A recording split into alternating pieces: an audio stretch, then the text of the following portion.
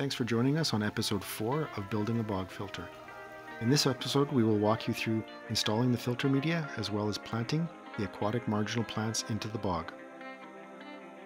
Based on the dimensions of our bog filter, we required around two thirds of a cubic yard of pea gravel as our base media.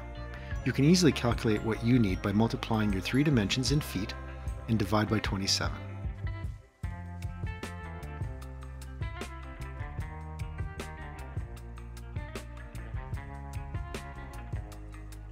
To minimize the amount of particulate deposited into the pond, we decided it would be a good idea to thoroughly rinse off all of the pea gravel before adding it to the bog. Even though we thoroughly rinsed off the gravel, you can still see a fair amount of clouding of the water from the rock dust and debris.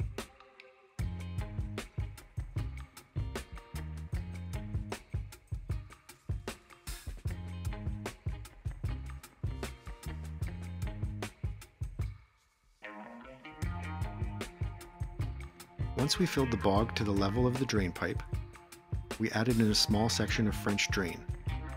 We made the French drain by cutting slots into the bottom half of the section of 1.5 inch Schedule 40 pipe, as you can see in this picture. Once the water in the bog gets to a certain level, the French drain allows the water to seep into the pipe and drain into the stream preventing the bog from overfilling. We added Schedule 40 tees in front of the section of French drain. This allows for a clean out should we ever need to remove roots or debris in the future. We 3D printed black cover caps to finish off the cleanouts and make them less noticeable and to keep the gravel and debris out of the pipe.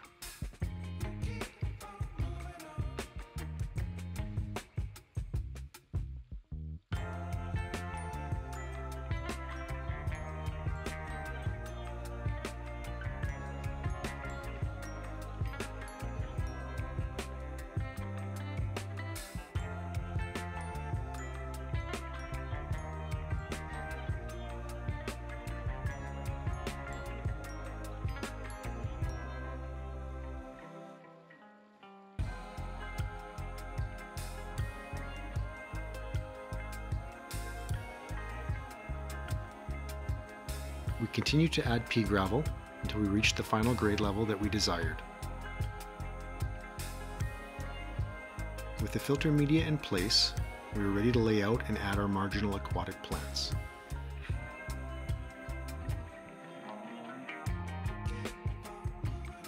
We chose a variety of hardy marginal aquatic plants that were rated for our climate zone, which is zone 3. Make sure you choose aquatic plants that are rated for the zone where you live.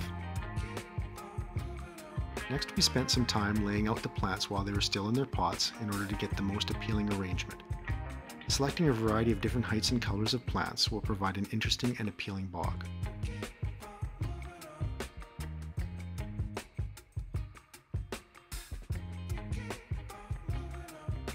Once we were happy with the overall arrangement, we removed the plants from their pots and rinsed off all the bedding material so that we were left with just bare roots. We then planted the bare root stock into the pea gravel, making sure the roots were well below the water level.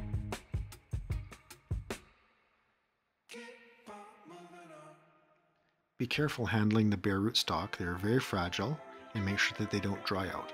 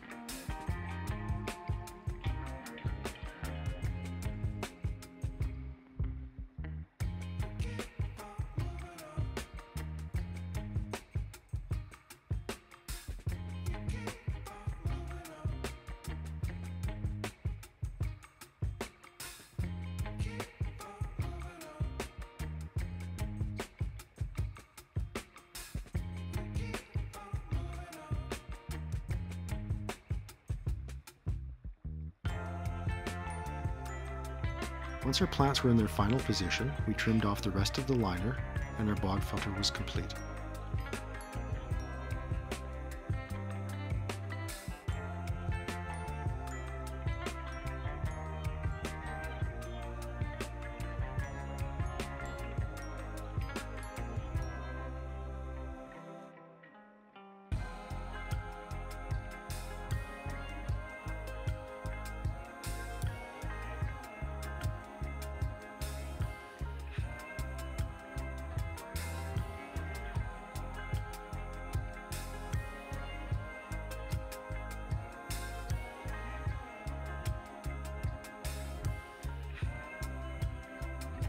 If you enjoyed this video, make sure to subscribe so you don't miss out on the remainder of the series, where we jump forward to year 2 and begin the reconfiguration of the stream and the addition of a smaller catchment pond for the bog filter to drain into.